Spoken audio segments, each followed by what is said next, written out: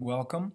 Uh, in this video tutorial I'm going to show you how to share and get your game out of FlowLab to be able to share with other people online. Um, for my students this will also show you how to uh, submit your game to Schoology so I can go ahead and take a look at it and play it. Um, you could also share your game with friends and family. You could also post it on social media um, and uh, around the world. Okay, so here I am in the FlowLab game editor, and there are two things that seem like they're missing. The first one is a save button or save function, and the reality is, is that it is saving in the background. Because this is a web-based uh, product, it's, um, it's saving in the cloud, it's saving in the browser, so you don't really need to do anything. But just in case that does make you nervous, it is being saved. Um, but how do we export it or how do we share? Well, what you have to do is when you're ready to do this, you're going to come down here to the toolbar and you're going to click on the play button. That then brings you to this screen here where you are playing it. And um, down here you can see um, who the author is. You can see how many plays um, have happened by other people. You can click down here and you can actually do a um, description.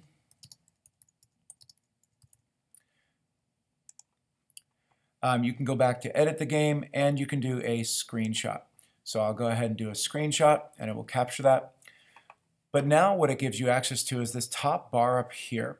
Pay attention to over here on the right hand side. It shows you that you are logged in with your name and then you're going to click on My Games.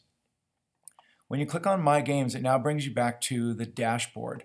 Um, and this is where it tells you what type of account you have and we have the free account which gives us three free games, okay? Um, and then you can create a new game.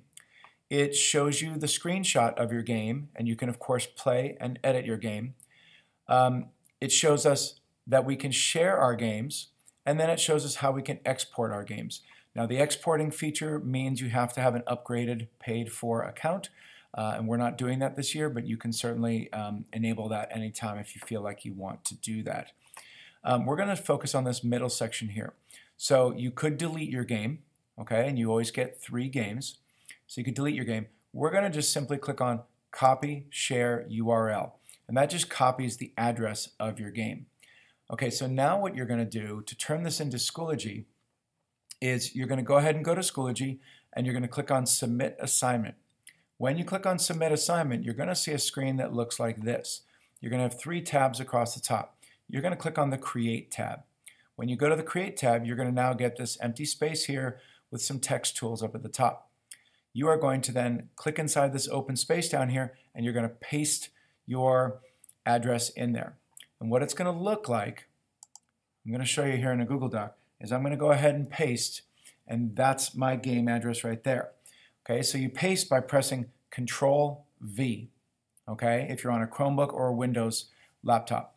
If you're on a um, MacBook, or a Mac laptop, you're going to press Command V. Okay? And then once you paste this in there, you're then going to go ahead and press Submit Assignment. Okay? Or Submit, whatever it says. And then that's it. And what I will get is when I see your uh, address, I will enter it in, and then it will load up. Take a couple seconds, and then there is the playable game. So now I can go ahead and I can play your game. Okay? So that is it. Have fun, and I'll see you in the next video.